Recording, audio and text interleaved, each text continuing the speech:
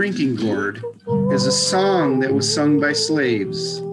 Slave masters thought they were singing to pass the time when they were actually singing to pass along a message. This song was a secret code of how to escape and travel north. The drinking gourd refers to the Big Dipper. If you follow that constellation, you will always travel north, the direction they needed to go to get to Canada and escape slavery. Follow the drinking gourd. Follow the drinking gourd. For the man is waiting for to carry you to freedom. If you follow the drinking gourd.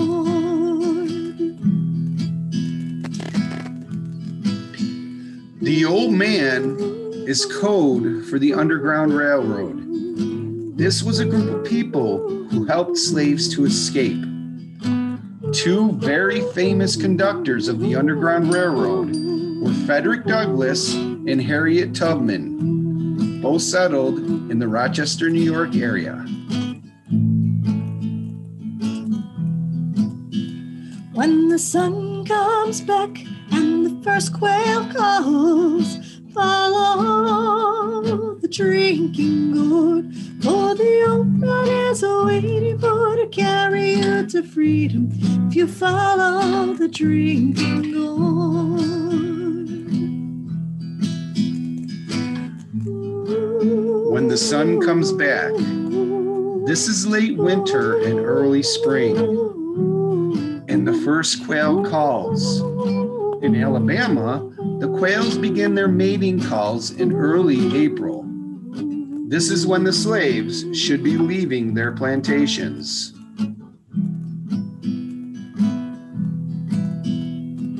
Follow the drinking gourd.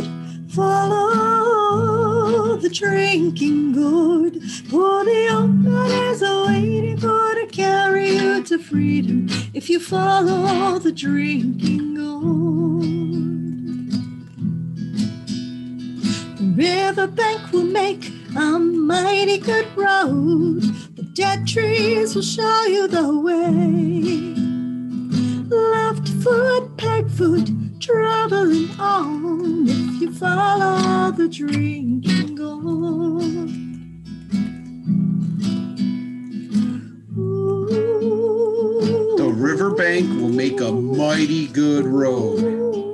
This song starts in Mobile, Alabama, and starts by following the Tombigbee River. The dead trees will show you the way. Left foot, peg foot, traveling on. Peg Leg Joe is an Underground Railroad legend. The symbol of a left foot and peg foot was made out of charcoal or mud on dead trees to help slaves know they are headed in the right direction. Follow the drinking gourd. Follow the drinking gourd. For the old man is waiting for to carry you to freedom. If you follow the drinking gourd. River ends between two hills. Follow the drinking gourd. There's another river on the other side. If you follow the drinking gourd. The river ends between two hills.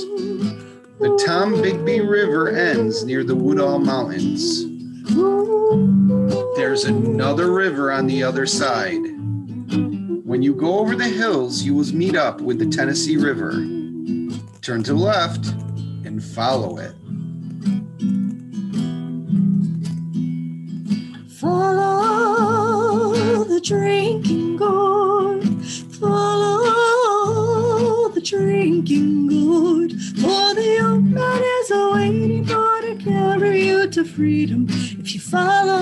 drinking gourd.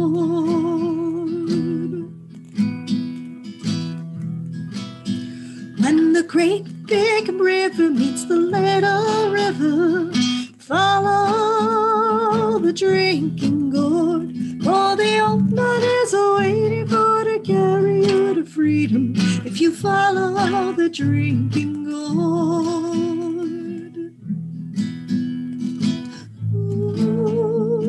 Was important for the slaves to start their trek in April so that it would be winter when they arrived at the Ohio River. This allowed them to walk across the frozen lake to safer shores. Follow the drinking gourd. Follow the drinking gourd. Put